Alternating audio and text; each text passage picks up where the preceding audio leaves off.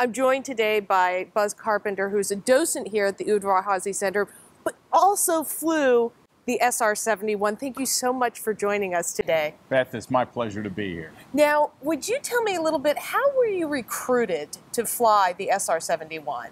Beth, it's an interesting story. I graduated from the Air Force Academy in 1967, and one of the Blackbirds flew by for our graduation ceremonies. And I'd seen the airplane earlier when I was doing kind of a cadet internship at Edwards Air Force Base, but I really never expected to fly the airplane. On my way to Vietnam, and I'm flying tactical reconnaissance RF-4s, I met a Colonel Jerry O'Malley. It turns out he flew the first operational mission in the SR-71 out of Okinawa, Japan, and uh, I would later serve under him. And he uh, kind of told me, he said, "You're the kind of guy I think we're, we're looking for, but you're way too young and you don't have enough flying hours." So I became stationed at Okinawa, Japan, and flew as much as I possibly could. You had to be a volunteer, so you submitted an application to Beale Air Force Base in Northern California, and you included your personnel record, your medical record, and your flight record. And you hoped as they reviewed it, they would find something interesting and that they would call you back for a, a week-long evaluation. So I was called back. Uh, I was delighted. The first two days were an astronaut's physical. Wow. Then you had a series of interviews, and then as a pilot, I had to fly with two or three of the current SR-71 pilots in the companion trainer, the T-38, to see how I handled the airplane. Uh, I left at the end of the week. The wing commander said, everything looks okay. Um, you know, we'll get back with you. And a, about four months later, I received a telegram in Japan in December of six, uh, uh, 74 that I would be coming to Beale in July 75 and start training in this airplane. Yeah, I have a funny question. How did you heat up your lunch in this?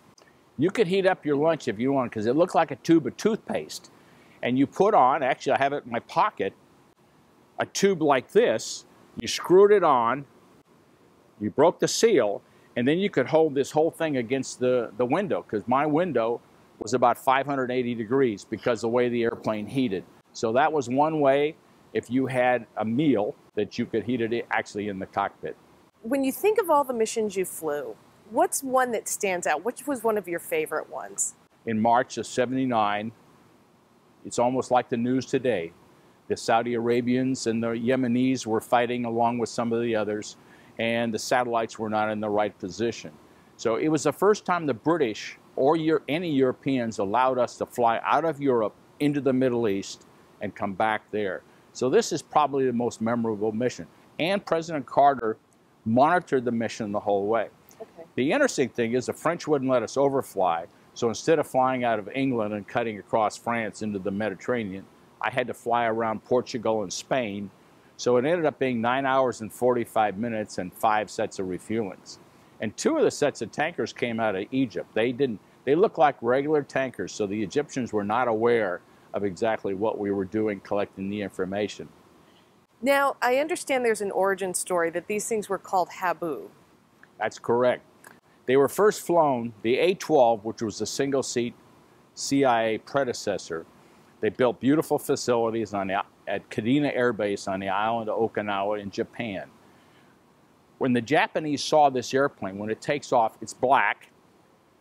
It takes off rather steeply. It looks like almost like a cobra. They have a native snake on the island that's very poisonous that's called a habu.